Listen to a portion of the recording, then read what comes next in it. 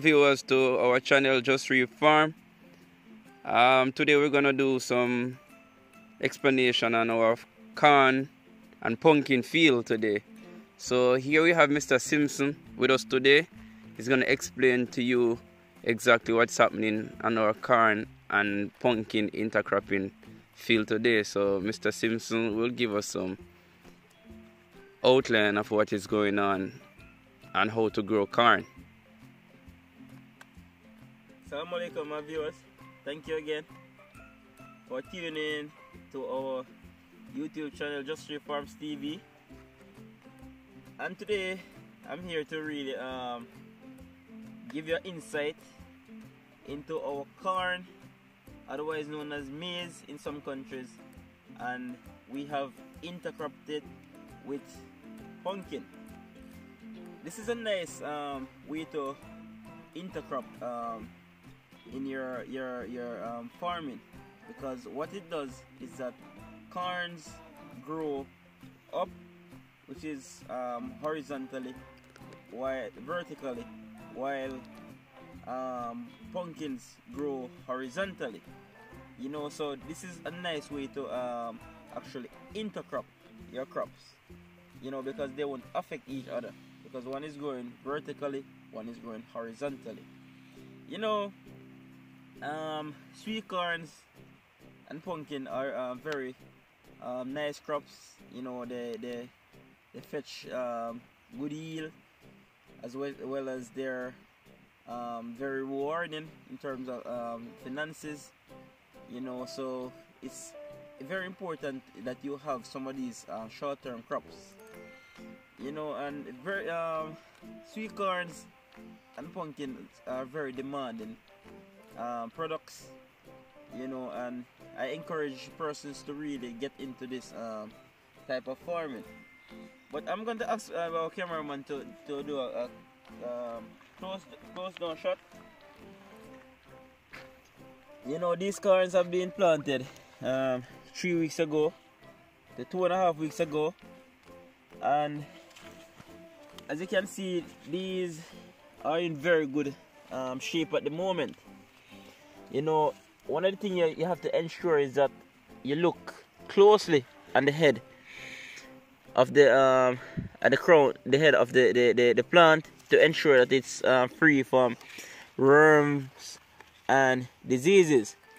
You know so as you can see here this one is very clean based on um, inspection. And as well as you can see the punk the pumpkin as well. It is very clean you can see under the leaves you know you can see where you have this dark green look you know which is represents the presence of nitrogen. Nitrogen is very important to uh, the crops at this stage you know um, when they reach up to uh, um,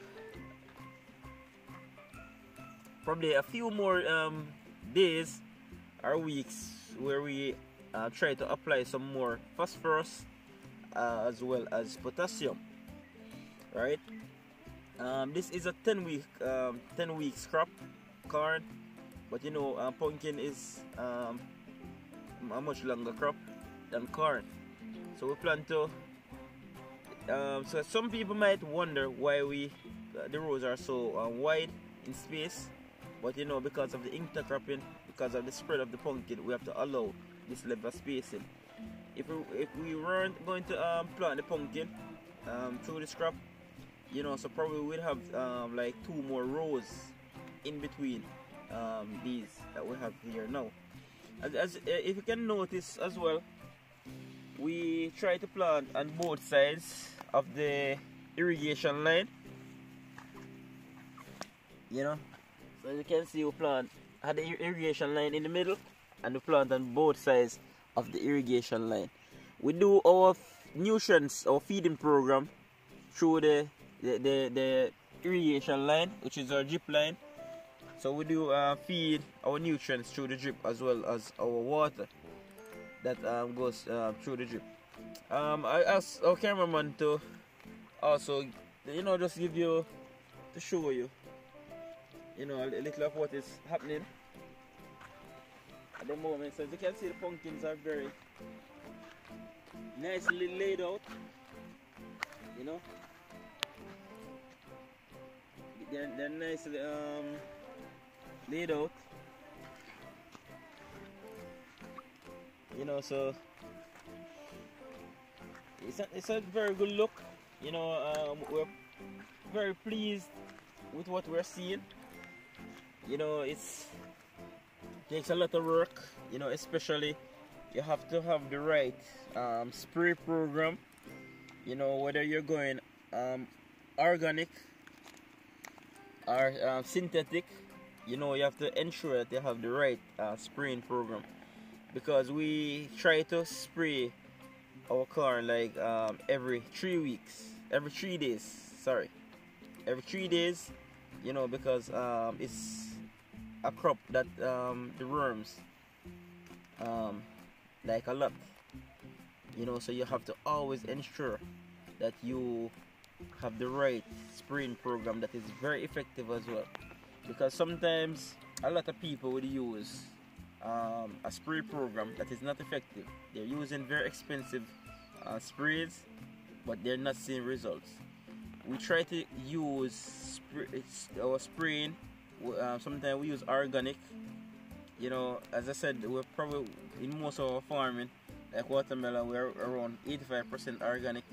With the corn, uh, we are not, we have not reached the 85% um, target as yet with the corn but we are there probably around 45 to, to 55 percent now in terms of um, organic application you know through our organic we apply molasses you know um, sometimes we apply humic acid through the uh, drip line as well which is humic acid is from you know uh, decay trees and leaves etc you know so we try to to to, to apply these um, types of products you know through the um, through our um, nutrition program as well as we are also looking into um, the, the, the whole aspect of seaweed as well. We, we, we try to to, to um, get into that as well our seaweed you know but hopefully you know we, we try to develop the, the right uh, mechanisms and try to share the information. As we're doing now you know we try to uh, record and um, our studies and research that we're doing uh, presently you know um, to make them as cost effective as possible. Because this is one of our main aims you know to really uh, be effective at low cost. And that is our objective. You know and thank you again guys. You know um, as the crop progress we will show you more videos and we will explain to you more you know um, of, of how um, our corn maize and pumpkin crop is progressing. And as we say from Jusreap Farms and Jamaica we say big up yourself and masalama goodbye